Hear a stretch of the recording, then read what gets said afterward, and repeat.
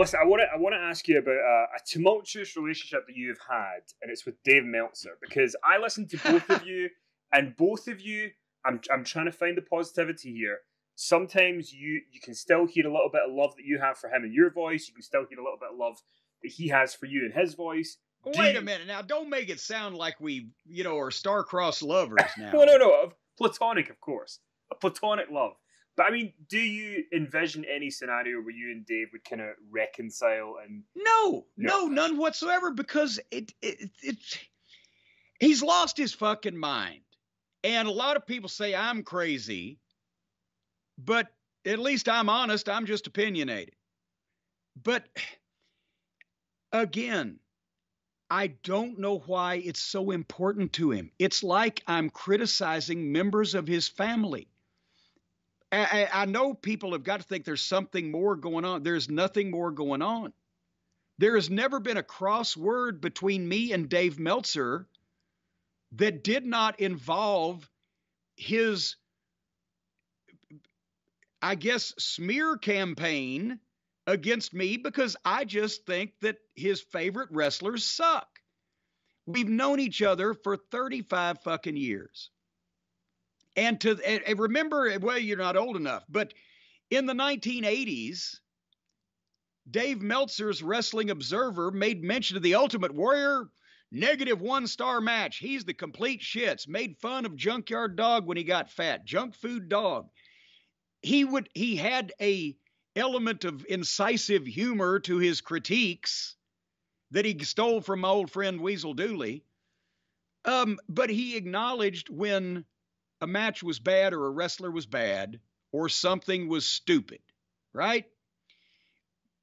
Now, he said, well, it works in the room. Yes, the Ultimate Warrior, the person that you mocked and made fun of, and rightfully so, because he was a shitty wrestler, and all these other shitty wrestlers.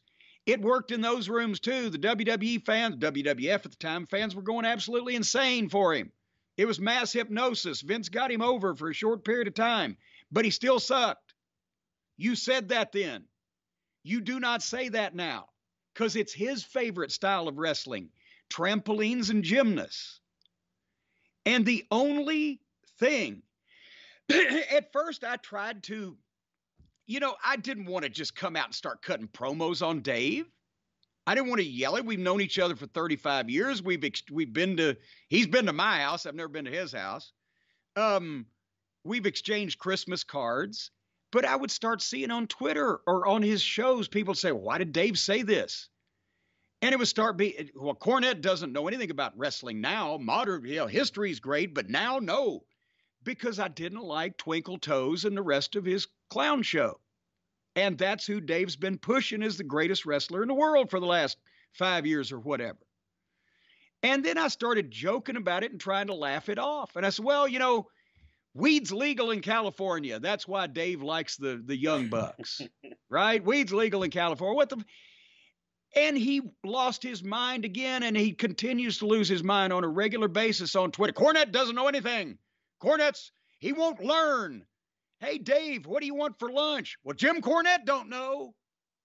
And finally, I had to fucking get with him and say, look, motherfucker, I have never attacked you. I've defended you. When Eric Bischoff and all the rest of those con men said, well, Dave just made shit up. Dave's great with history. Dave always tried to report news factually and clarifies when he has made an error. And I never found anything over 30 years to be just ridiculously contrived or made up anything that Dave said. I always thought he was fairly level headed, a little odd socially. That was it. But suddenly he couldn't fucking stay off of me. And he was telling a bunch of people that I didn't know what the fuck I was talking about because I didn't like his favorite wrestlers. And that's when I told him, what the fuck? If this is the way it's going to be, then we're done. Quit emailing me you're we're not friends because you are slandering me for no good reason in the public eye, and I ain't gonna put up with it. And then he'd email me about, I heard your show last week. You did a really great political commentary. And I'd be emailed back, fuck you, because you used to be my friend and you're not anymore. because you slander me, so leave me the fuck alone. so now he's resorted to tweeting about me and how much that I don't know about wrestling, but he's blocked his replies so people can't fucking get back on him and say, What the fuck are you talking about? We hate this shit. He, eh, so you can't reply to Dave on Twitter now unless he follows you or you follow him or you send 999 to PO Box 9 Chicago Illinois 60609. I don't know.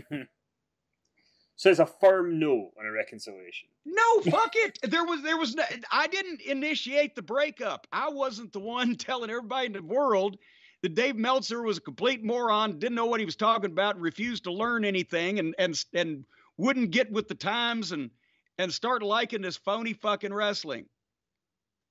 I was the one saying Dave's an honest guy and Dave has his history down and Dave tries to report things factually and he starts slandering me. So fuck you, Dave, if you're listening to this.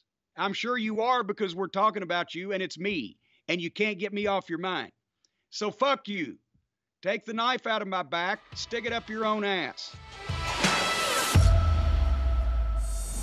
Um, so I was totally down for it, but I actually think that WWE was more on the side of they knew that I had started like established credibility already as like a broadcaster. I think they were a little trepidatious about like messing with that in any way or like having me become too involved in storylines like that. I think they were pretty protective of um, of the role that I played with them. So it, it never really came up for it to go down that path. I think that got shut down pretty quick.